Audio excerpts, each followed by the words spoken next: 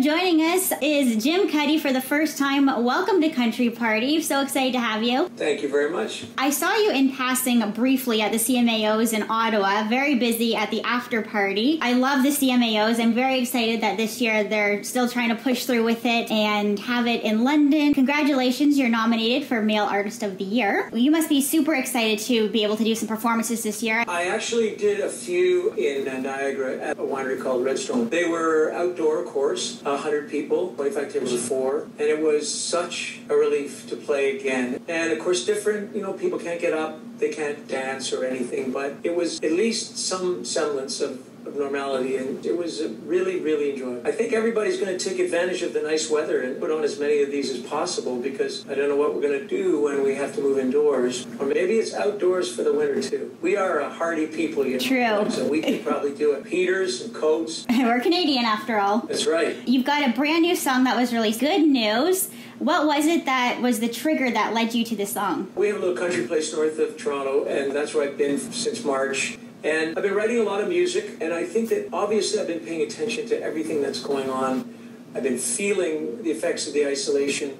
And then when I started watching all the peaceful protests and the way that people were coming together in a united message, I just felt like these were difficult times, but that we had this ability to unite and do something really positive as long as there was some hope ahead of us. As long as there was some good news if we could keep going and keep going and, and, do the right thing. I was just moved by all the images that I saw. What is it during these past couple of months do you feel has put you in a little bit of a slump? And then what was it that gave you a boost of positivity? I'm lucky enough to be where I am in my life. You know, my kids are grown up and I'm pretty sheltered from the real harsh realities of the isolation. I think this government did a lot of good helping people get through it. Mm-hmm. I think that what was moving for me was just carrying on blithely up there and then just watching the acts of kindness. An email chain that was up at our place where people said, look, if anybody needs anything, let's talk to each other. And if I go to the store, I'll get you something. If you go you get me something. Those acts of kindness that didn't exist before, they were always in us, but we didn't need them before. And so the way that people reached out to each other was was really moving. And I didn't know what to do with it until I saw the Black Lives Matters protests. And that gave me a focus and I knew what to do. Absolutely. Coming out of this, we were going to have hopefully a little bit more of a positive and appreciation for life in general, but also with artists creating songs like these, it's something that we'll always have to look back on and music lives forever. So it's really nice that artists are able to put feelings and stuff like this that the rest of us may not be able to articulate as well into something very meaningful that a lot of people will be able to relate to and connect with. I, listen. I think that's really well put. I, I think that these are very strange times we're going through, and we go through it because we have the strength to go through it and the will to go through it. But when we look back, we'll realize just how unusual it was that we were all trapped in our houses for a long time, and in the midst of it, there was an uprising, a North American, if not global, uprising about the way that black people have been treated in our countries. And certainly glad to be one of the contributors. My wife is an actor, and so everybody has been putting pieces of art out there. And you realize from the connectivity through even virtual connectivity how much it matters to everybody to just see it as a symbol, see it as a song, see it as a piece of theater. It matters. Absolutely. And something that I toy around with is social media. Does it do more harm than good? And in this case, absolutely, we're able to bring awareness left, right, and center, but also it's able to help us mentally with these connections. Can you imagine if this pandemic happened 10, 20 years ago? It would have been so different. We would be on dial up internet, one person on the phone at, a time. Just have to be grateful for those types of things. I agree.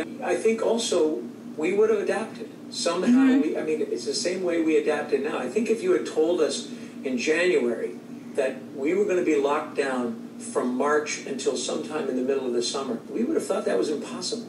We would not have felt that we could do it. Mm-hmm. But somehow, I think it's so admirable, like just even in my world, my music world, and my family world, we understand what we need. We need to communicate with each other. We need to send ideas and things back and forth we just simply find a way. So it's sort of remarkable to see how resourceful we all are. Yeah, for sure. During this time, what has you know the day in the life of Jim Cuddy been like? well, for a long time, it was pretty boring. Uh, although not to me, because one of the great things about it was generally I may have a couple of days at home, and then I would be going to the airport, flying somewhere, doing a gig. Now every day I would wake up in the same place and there would be a guitar, and I would play it for a little while, and then I would do some exercise and look around and play for a while. So I had a very productive time. And also, I had to learn how to do a lot of things that I didn't know how to do. Things that broke in our little country house, I had to figure it out because nobody's coming over.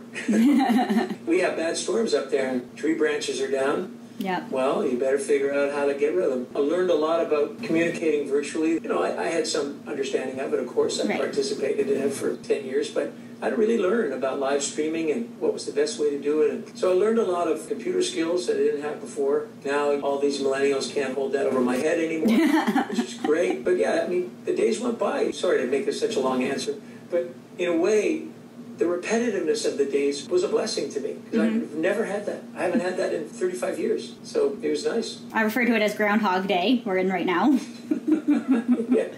I enjoy Groundhog Day. yeah, apparently. Yeah, because generally you're, you know, on tour doing all these shows. At what point did you got the idea that it's going to be canceled? It was pretty gradual. I mm-hmm. think that when we locked down in March, we still felt that we would lose the spring, but our summer shows would still be a go. In Toronto, we lived through SARS and we understood the toll it took and how much time it took.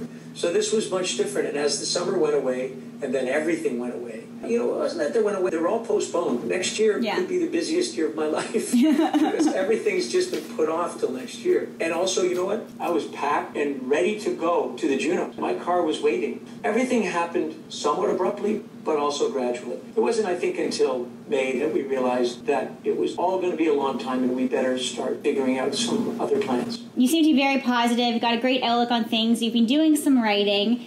And I want to say, keep up this momentum. I wish you all the best with good news. I love the title of that song because that's something that we're not really getting too much of these days. So we've got to no. take it as it comes. Well, thank you very much. I appreciate it.